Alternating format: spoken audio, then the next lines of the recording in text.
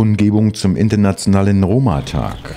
Zum Internationalen Tag der Roma wurde in Berlin ein Zeichen gegen die Diskriminierung der Sinti und Roma gesetzt. Vorurteile und Hass gegen diese Minderheiten seien immer noch weit verbreitet, sagte die Leiterin der Antidiskriminierungsstelle des Bundes Christine Lüders.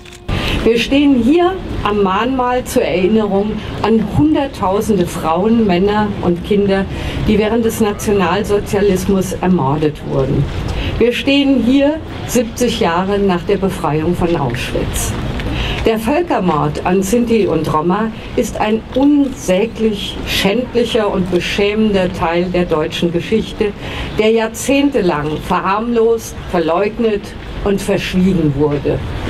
Führen Sie sich vor Augen, dass dieser Völkermord erst 1982 unter dem damaligen Bundeskanzler Helmut Schmidt anerkannt wurde.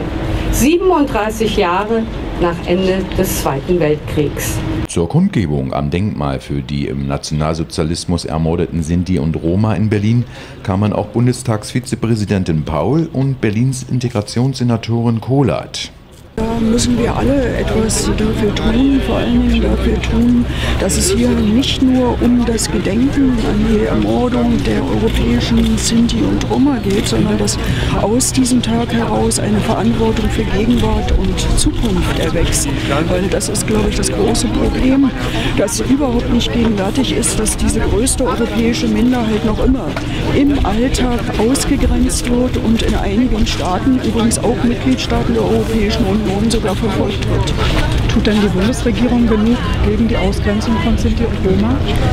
Nicht nur die Bundesregierung, insgesamt die Bundespolitik, aber auch die Landespolitik tut überhaupt nicht genug im Sinne von Aufklärung, von Bildung, aber auch Anerkennung der Bürgerrechtsarbeit der Minderheit selbst. Und es macht mich wirklich wütend, dass in dieser Woche es noch notwendig ist, einen Aufruf in die Öffentlichkeit zu drängen, wenigstens die 5000 hier in der Bundesrepublik geborenen Kinder und ihre Familien, die aus dem Kosovo vor dem Jugoslawienkrieg damals geflüchtet sind, hier im Land zu lassen. Einige von ihnen haben tatsächlich in dieser Woche den Abschiebebescheid bekommen.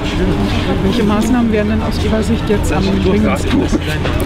Ich halte es für ganz dringend, erstens diesen unsäglichen Beschluss über vermeintlich sichere Herkunftsstaaten äh, auf dem Balkan tatsächlich auszusetzen, den Menschen hier eine Zukunft zu ermöglichen. Zweitens die europäische Roma-Strategie, die auf Teilhabe und Chancengleichheit vor Ort setzt, nun endlich umzusetzen in allen Mitgliedstaaten der Europäischen Union.